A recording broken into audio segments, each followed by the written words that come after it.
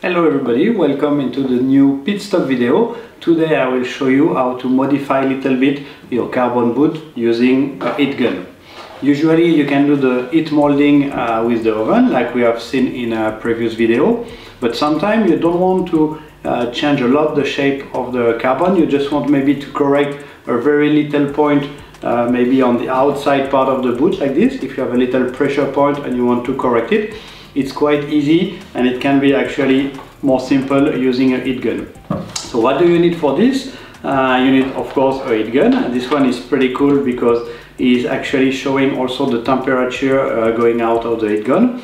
And you know with heat molding you don't want to go uh, more than um, 120 degrees. So here we can go a little more, but we need to uh, keep control of the temperatures. You can keep your wheels, you can keep your frame on your boot, just select good the point you want to correct. So let's take as example today, I want to make my boot little bit wider in this area.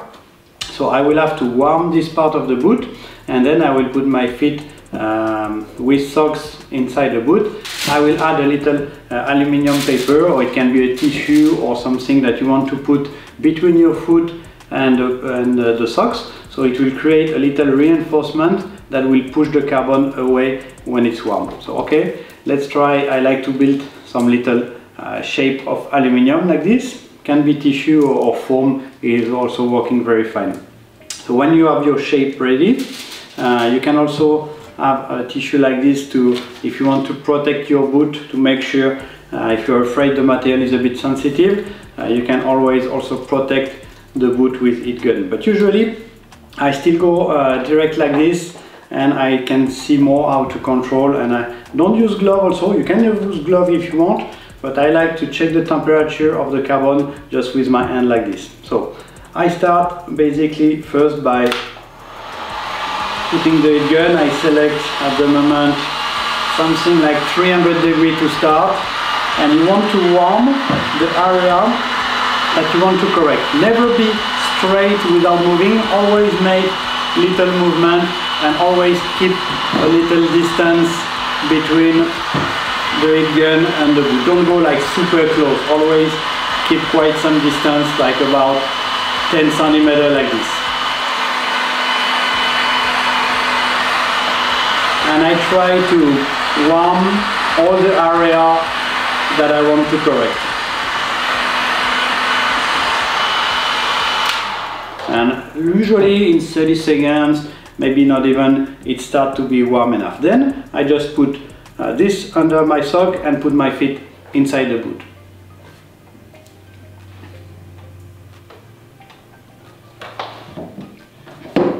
Okay, now you can see uh, my foot is, my boot is little bit modified the carbon moved little bit away here and I have no more pressure point it's better to do it uh, very carefully and slowly so I like to do it like just you know 30 seconds like this give it a try go to my training and then I feel if the pressure point is still there or not if it's still there I repeat the process the day after one more time but very slow and small change okay it's better to try to be super careful with the heat gun because it can go with higher temperature than what is recommended for heat molding.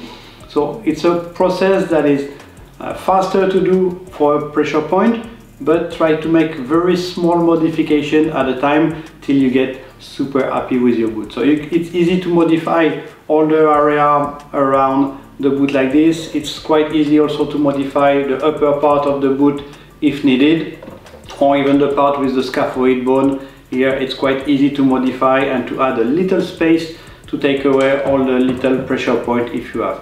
If you want a more global change in the boot, then I recommend to use uh, the heat molding process like we saw in the previous video.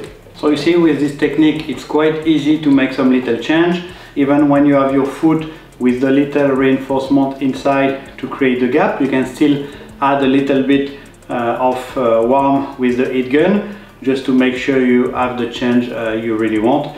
And you don't need to really, again I insist, you don't really need to uh, stay long with the heat gun. It can take 10, 20 seconds, maybe 30 seconds maximum in a row. Be careful with the different systems, especially on the Accel boot. When you have ATOP system, you don't want to warm directly on the ATOP system, of course. So here you can, for example, uh, put a little protection with a tissue around it if you modify really close to this area. But super easy boot to modify and you can really make it uh, almost like some custom details in it to avoid all the little uh, pain. Just be careful because the temperature can go higher. Make sure you use a good heat gun. Make sure you're always moving a little bit and not too close to the skate. And once again, control the temp temperature like with your hand. As soon as you feel, oh, the carbon is already warm, then you have enough to create the modification. And that's it for the heat gun little tips. Little uh, more precise than uh, heat molding for some details and nice technique that many pro skaters are using to make their boot like they really want. Thanks for following, see you in the next video.